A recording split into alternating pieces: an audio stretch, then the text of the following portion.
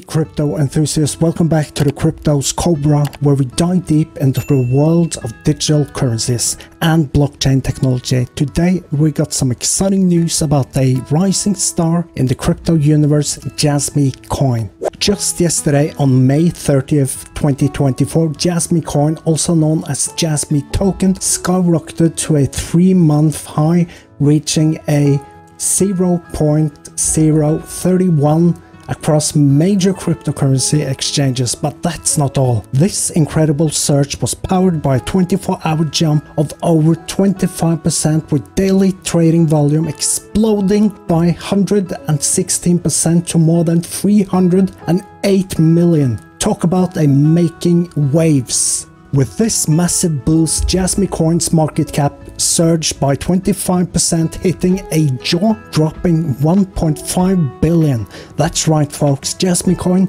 is now ranked 66th among the largest cryptocurrencies by market cap. So what's driving this insane growth? Well, the recent gains can be attributed by to the unveiling of Jasmy Coin's AI-focused incubated program, Janction, and a significant 100 million Jasmy coins are locked up announced earlier this month. There's also some buzz around Jasmy coins potentially playing a role in the digital ID system which has added some fuel to the fire. In the past week alone, Jasmy Coin has seen a 46% gain with 30-day returns at over 81% and an incredible one-year performance increase for more than 544%. The price of a one Jasmy coin has broken above the 0.03 level, setting its sights on the potential breakout targets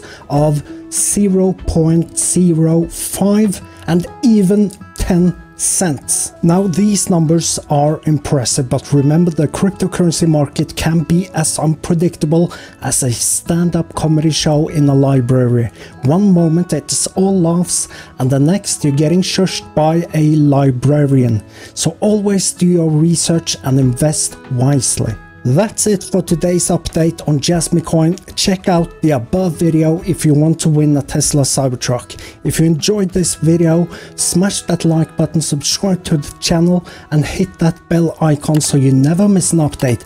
Let us know in the comment section below what you think about Jasmy Coin's future. Is it going to the moon